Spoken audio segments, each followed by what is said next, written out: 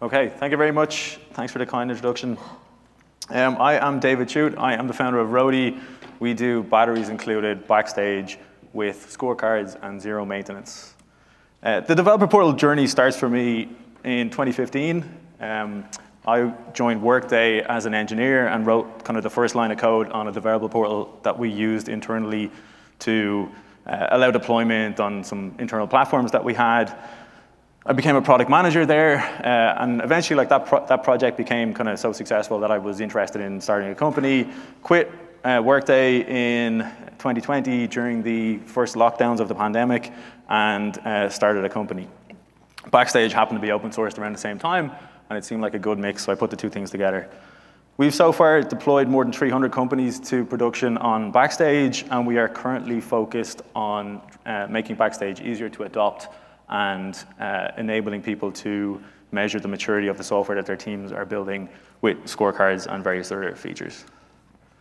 Okay, so about six months ago, you know, I had this interest in learning about the best practices for adopting Backstage, and I decided let's go talk to some uh, self-hosted adopters, right? Because there's obviously people at this point who have been in this community for three years. Backstage is three years old. There's definitely some lessons out there that we can learn, and then we can share them like this to uh, a wider audience.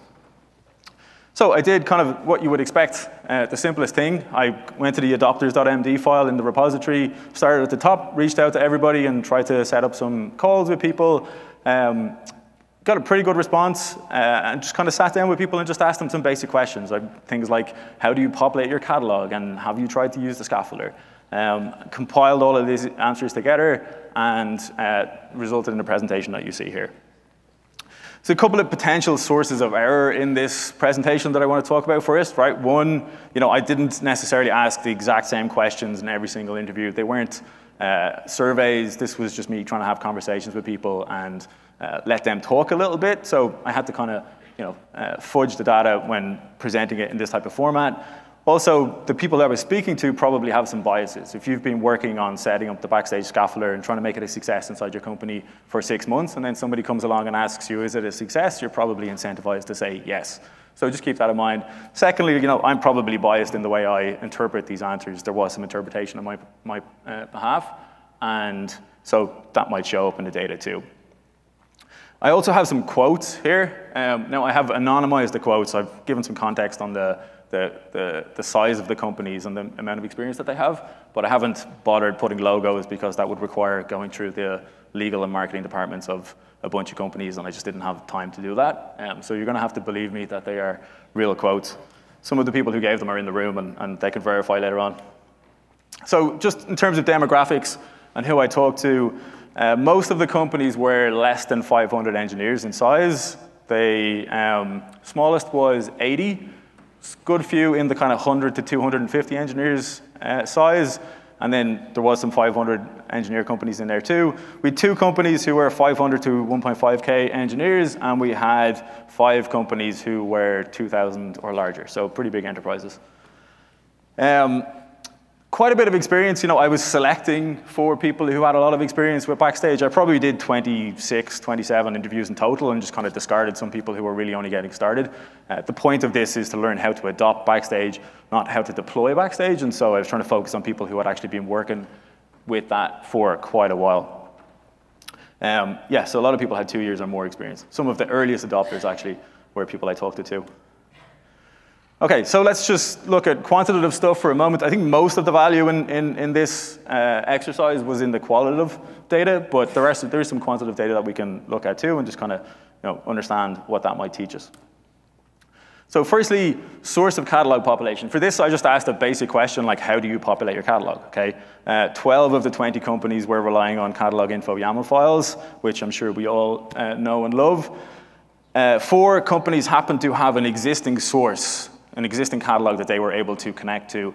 And so they had a bit of an advantage as they were getting started. You know, they already had a catalog in place. They just come in, connect backstage to it, and voila, they have a, a beautiful catalog there. Some companies invested in custom processors, and I'm going to say, I'm going to kind of um, bucket a lot of things together when I say custom processors here. Really what I mean is connecting to some sort of source and scraping the catalog out of there without relying on engineers to create the YAML files themselves. So for example, in one case, uh, a company had built a custom processor for GitHub, which would just read the repositories. It would look for a Circle CI config file and try and use that to figure out the annotation for Circle CI, things like that. Scaffolder was broadly successful across the whole cohort. So out of 20 companies, nine hadn't tried to use the scaffolder for various different reasons, but the, everybody who did try to use it had reported success. Um, not a single company tried the scaffolder and failed to get any value out of it. TechDocs, a bit more of a mixed bag. Um, six companies reported that they had success with uh, TechDocs. Six companies reported that they had tried to use TechDocs and failed to drive significant adoption of it. Six companies just hadn't really tried yet, and two companies I forgot to ask about TechDocs, so that's why they're there as unknown.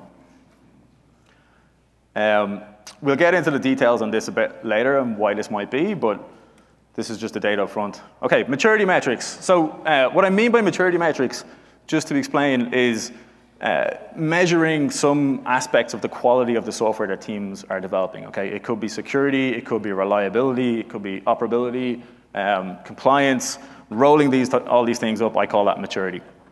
So interestingly, almost half of the 20 companies I talked to had invested their own engineering time into building some sort of maturity measurement features into Backstage. Uh, they dedicated actual engineering hours to this. There's a couple of different ways that they do it. I'll talk a bit about those later. Um, but I think it's interesting that teams are actually uh, investing in this area. Even of the companies, the half of the, the, the, group who hadn't built anything, half of those were thinking about it and, and planning to invest in this area too. Plugins, again, kind of a mixed bag. Like TechDocs, um, eight companies reported trying to uh, drive adoption of plugins inside their company and failing. Six were too early. Um, four companies reported succeeding, and there's kind of different ways that they talked about it. Some, uh, uh, like half of them basically said, yeah, we put in open source plugins and they seem to be adding value and, and people are going to the catalog to use those. Two had succeeded with, with plugins, but really felt like they'd only uh, added most of the value with custom plugins for workflows that existed only inside their company. All right, cool. So that's the data. That's kind of like the pieces I was able to pick out. But what have I actually learned from the interviews? And we could talk a bit about uh, some of that stuff. Firstly, templates can be a really e easy and early win. Um, and probably is a good place to start with Backstage. There's a couple of reasons for this. One, you know, if you think about templates, you can just write a template, put it into Backstage, send somebody a link, they can run it, and they get value straight away. There's no cold, cold start problem. This is kind of in contrast to something like the catalog, where it's a bit like Facebook, there's network effects. The more stuff that's in the catalog, the more reason people feel like they have to put stuff into the catalog. And so it takes a bit of time for it to build up. Templates, you can just get started straight away. Second thing is that there's an easy to calculate ROI for scaffolder templates, right? If you take a job that used to take two months, you make it 15 minutes, you multiply that by the number of times that that job is run each year, and you multiply that by something about something close to what an engineer costs, and you can basically report upwards, well, we saved you know, X hundred thousand dollars with the scaffolder. Um, that's good when you're trying to adopt a new technology because you want to get an early win. You want to have something to report success so that you can continue to invest more and more into other features of Backstage. Um, not all companies you know, had equal success with the scaffolder. The ones who reported the most success kind of did two things. One, they tried to automate frequently uh, run tasks. Okay, if you imagine a job that's only run once a year, the actual steps that you need to run have probably changed by the time you get around to running it again. And so there's not that much value in, in uh, automating that with the scaffolder. So things that happen very frequently, the templates uh, tended to stay up to date, more frequently or more easily, and, and those worked out better. Obviously, uh, more arduous tasks are also better to automate. They just cost more to, to kind of follow all the steps, and they're a good starting point. With the scaffolder, I think it's important also to encourage contribution. So some companies who come to me for sales calls and things like that, they kind of want have this idea that they want to lock down the scaffolder and um, keep it for only some anointed people, architects or uh, platform engineers who are allowed to write the scaffolder templates and uh, other people will come along and run them. The companies who seem to have the most success with Backstage, laptop just went to sleep, um, allowed anybody to contribute, okay? And they had actually built ways to figure out which were the trusted scaffolder templates from the UI. So you could uh, come along, let's say, and see certified labels on certain scaffolder templates because they had been blessed by the, uh, platform engineers who were responsible for the overall reliability and, and uh, consistency of the scaffolder templates. And so we've obviously, obviously copied that idea into and we have that supported out of the box. Here's some quotes about the scaffolder. Um, I won't read them all, but like just picked out some, some points here that I bolded. Scaffolder is the king feature of Backstage, I heard from somebody. Uh, we've reduced some tasks from a month to a few minutes. Okay, we have customers, Caribou, who were up on the stage here last year saying exactly the same thing. They took a two-month task and made it 15 minutes with the scaffolder. The ROI on that is obvious. Um, and then Lunar have obviously publicly also said that they've uh, locked down GitHub because they've been so successful with the scaffolder. There's no other way to create uh, microservices there. Second big thing to think about, I think, is making catalog population easy, right? This is clear in the data that this is important. Catalog is important because you can't get full value from Backstage unless your catalog is correct, rich, and complete. If you think about measuring software maturity, for example, can't measure the maturity of something that's not in Backstage, and so this is a really important prerequisite. It's also really difficult, it turns out. Um, so of 12 companies who tried to create a rich and complete catalog with catalog info YAML files. Only two of them seem to be successful. One of them is a kind of a special case that I'll talk about in a second. Um, other people seem to reach about 25% catalog completeness after a significant amount of effort and uh, didn't get any further than that. There's a couple of things that you can do to help. So Twilio, who I actually didn't interview, but I saw this recently and I thought it was interesting, are reporting uh, catalog completeness numbers inside Backstage in a very public way, which is helping them drive adoption. They have this uh, feature called Catalog Health, and it reports numbers like you know, what percentage of uh, components have a Snyk annotation or a PagerDuty annotation, stuff like that, which seems to be um, uh, really helping them. They actually spoke about this at the Autodesk Developer Productivity Conference, which happened recently, and it's recorded on YouTube if you want to check it out. And so uh, I think that that kind of points to the second point there, you know, if you want to have success with the Backstage catalog, catalog, it seems that you do need some kind of top-down support. You need a carrot and a stick. Backstage can be great, but you will need some sort of uh, a force, whether it's you know public metrics, which are a company goal that everybody's working towards, or even maybe uh, locking down deployment of new services to things that are in the catalog. Something like that will help drive success with catalog info YAML files. Yeah, I mentioned a special case a second ago, um, and it really kind of comes down to this. You might be thinking, well, okay, it's easy to create files. We'll just open an automated pull request against all of the repositories that we have. We'll put a catalog info file in there. We will explain what the benefits of merging this thing are. Uh, and then that's how we'll drive completion of our catalog. Now, I've personally seen mixed results with this. Um, there's a couple of different obstacles. It depends on your culture. I've seen cases where companies have tried this path and some factions inside the organization have just opted out. They just say, we're not going to merge that. We don't want to be involved. We don't see what's in it for us. Other people will just merge it without actually looking at it or reading it, and you'll end up with a catalog which has a lack of ownership uh, when it comes to the components in it. So I think the best thing to do here is to start small um, and take your time. You also need to consider the, the day two operations when you take this path. So if you have some success with the automated pull request and you end up with 800 components in the catalog and then you decide you want to use the Snyk plugin, well now you need to annotate 800 components with their Snyk service ID. That's not that easy either. You're going to be waiting a long time for those pull requests to get merged. Mono repos are the special case where this actually seems to work. So I did speak to a company who had a gigantic mono repo with 2,000 components in there, and they had basically just scripted it so that it created a catalog info YAML files for every directory in the mono repo, they got one really trusted person to merge, to review and merge the pull request, and bingo, they had a, a populated catalog. So if that's your setup, this approach may be able to work. Otherwise, you're just going to have to start slow.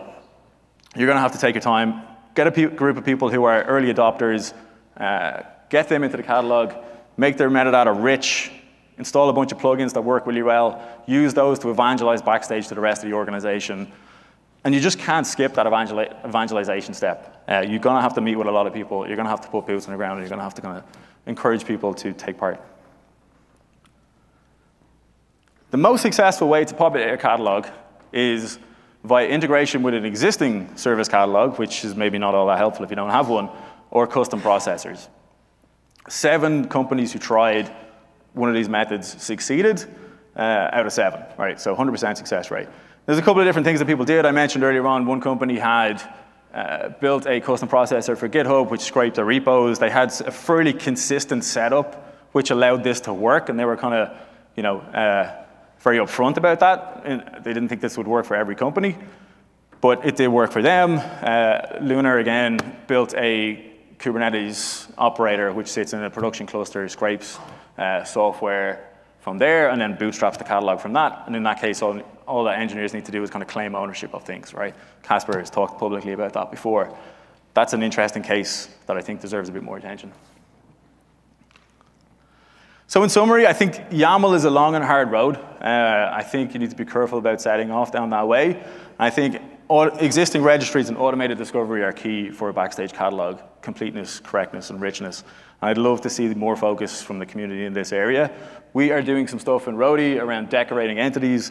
Twilio actually independently did the same thing, but you can now annotate components in Roadie without editing the YAML. No pull request needed. You just set annotations in the UI, and uh, we see success with that. We're also looking at ways to bootstrap catalogs from integrations with Argo CD, Kubernetes, and other places where you would have your production software deployed. Okay, Tech Docs. Um, so Tech Docs worked in about half the companies that tried it. The main difference between those where it worked and those where it didn't was the lack of the existence of a technical documentation tool that people were already happy with. Uh, Confluence doesn't count, but there are tools out there where people are kind of happy to, to use them, and in that case, you will struggle, or the, the uh, people I interviewed struggled to get adoption for Tech Docs. It also needs a bit of a culture shift in some organizations. It is a docs-like code approach. Uh, you do lose some things with that approach, right? It's a bit easier, or sorry, a bit more difficult to edit documentation. You have to open a pull request. You need to know how to do that. You need to be semi-technical. And there is a trade-off there. And some organizations just didn't want to make it or couldn't make it happen. And so they uh, struggle for that reason. Organizations who did succeed with Tech Docs also se seem to put some investment into reducing the friction of using Tech Docs. So they would, for example, create a scaffolder template which allow people to easily add uh, a docs directory and an mkdocs config file to their repositories. So that's something we're looking at. API specs also can be quite successful. Um, the best example of this is Zalando, and they've publicly said that they have 43% daily active usage of Backstage, and one of the key use cases is basically engineers looking up API specs. Now, the thing about Backstage is your API specs are not going to magically appear in Backstage just because you've deployed it. You're going to have to invest in collecting those API specs, putting them in Backstage, making them versioned, making them searchable. These are things that don't necessarily come out of the box with Backstage. Um, Zalando have built all of that. They have a pipeline for introspecting their services and producing API specs and pushing them into Backstage where they are versioned and, and searchable. And we're doing similar things in Roadie. Plugins, then again, I mentioned, you know, quite important, a bit divisive um, in terms of the success that people have had. The thing about plugins, and actually two, interviewer, two people I interviewed specifically said this, is you need to be intentional about which plugins you use, right? Both of these companies I got really excited at the start, threw in all the open source plugins that they thought that they might use, confused people, they were kind of broken, the catalog wasn't ready for it, and they ended up taking them back out again. So I think it's worth thinking first from a kind of product standpoint, what are we actually trying to do? What are the use cases that we're trying to solve for engineers? And then install or build plugins around that. Custom plugins that you build yourself seem to add more value than the open source ones. Obviously, the open source ones are quite generic. They just do basic functions for uh, a lot of SaaS tools, like GitHub Actions, for example, where you can see your CI and, and re-trigger jobs. Those didn't seem to drive a lot of usage because engineers would still uh, prefer to go to GitHub Actions, which they're used to using every day and, and has more functions anyway. So plugins best succeed when they enable engineers to do something that they can't do otherwise or something which has really high friction, okay? There's probably a lot of these things in your company because you're gonna have legacy or custom workflows which need to be executed uh, fairly regularly and can be a little bit friction to do. Those are the best things to put in the backstage. And then again, like I said, empower other teams, right? The best companies who had the most custom plugins seemed to have a model where they would consult with other teams, but they wouldn't build plugins for them. So they would either empower them with scaffolder templates to create new custom plugins more easily, and they would consult and, and, and kind of embed with these teams to give them the skills, but they weren't building plugins on their team's behalf because those teams have the domain expertise to do it best. Lastly, I want to talk about uh, software maturity metrics. So this, like I said, half the companies in the, in the, uh, in the interviews that I did had built their own software maturity metrics into Backstage. A couple of different ways they do it. Um, two companies had basically built a custom plugin which would ask questions of the owner of the software directly inside Backstage. You'd fill out, you know, kind of feels like, does your software use, uh, have customer data? Or what data store does it use? This kind of stuff.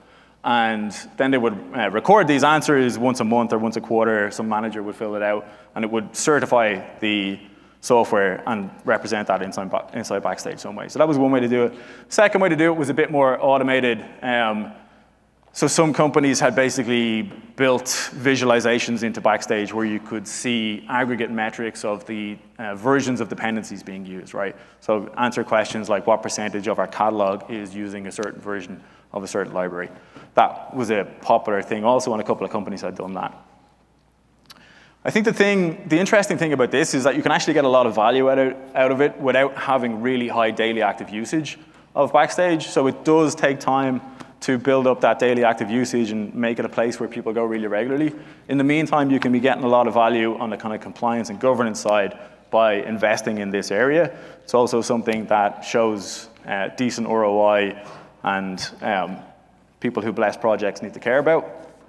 But like I said, it does require completeness, correctness, and richness in your catalog. You can't apply automated checks to software that's not in the catalog, and you need to have high richness so that you can map PagerDuty to the Backstage catalog if you want to create a check, which is like production software must be in PagerDuty. All right, so in summary, three minutes left. From kind of this research and a lot of the sales calls I've done, I see two paths uh, that work with Backstage, or two paths that people want to take. Uh, they're kind of mapped to the create, manage, explore um, nomenclature that we've seen before, where discoverability is explore and increase software maturity is uh, create and manage. And uh, you can do both if you want to invest in it, but you do need to do some work regardless, right? You're not going to just deploy Backstage and on day one get really high value from either of these paths. You need to put some work in. If you want to improve discoverability, the thing to do is automate catalog collection. It's always automate catalog collection. You don't have to start there, but you do have to automate it as far as I can see. Look at tech docs, look at API specs, make those things available. They will drive that kind of daily active usage, that discoverability, and then invest in custom plugins. Work with teams to find workflows where more automation is needed, easier ways to do things are, are needed, and empower them to create plugins that go on the backstage. It's going to require patience. Um, it's just going to take a bit of time. Uh, even companies who've been working on it for two years sometimes still feel like they're you know, early on this journey. Um, but it can result in high daily active usage. We see this from Spotify, we see it from Zalando, and other people who have been willing to put the work in to, to do this. The second path is to increase software maturity, uh, equally valuable, just slightly different. You start with automating catalog collection, you invest in scaffolder templates because by giving people the tools that they need to create new software with the best practices of the organization baked into them, you have a good starting point for improving the standardization and henceforth the maturity of that software. And then you likely need to build your own tools or purchase one of the tools like what Roadie has with Tech Insights, Spotify has with Soundcheck, to measure software maturity with scorecards and other technologies across the catalog. This way won't see high daily active usage, which I think is kind of a weird thing to say when it comes to Backstage because we talk about it empowering developers um, and people kind of expect people to, developers to wake up and spend their time in Backstage. You won't necessarily achieve that with this path, but it is valuable all the same, and improving the maturity, compliance, security, and reliability of your software is highly valuable. That's it for me. If you want to give me feedback, you can scan this QR code, apparently and it'll uh, let you yell at me. You can also email me there at david at roadie.io. I'm happy to talk to people about Backstage. It's what I do, and thank you very much.